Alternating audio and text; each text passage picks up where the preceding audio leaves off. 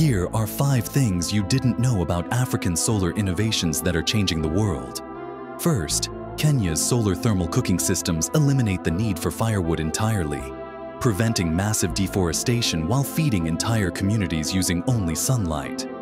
These revolutionary cookers reach temperatures over 400 degrees Fahrenheit, proving that African ingenuity can solve both hunger and environmental destruction simultaneously.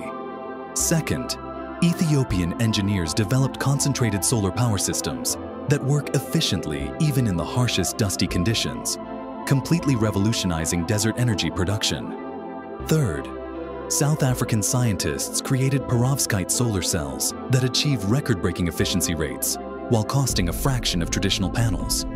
This breakthrough is making clean energy accessible to millions who were previously left behind. Fourth, Senegalese innovations in solar water purification provide clean drinking water for millions using only solar energy and locally sourced materials. But here's the most mind-blowing revelation.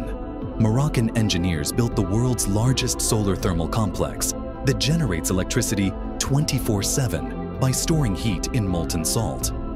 This proves Africa leads global renewable energy innovation, not follows it.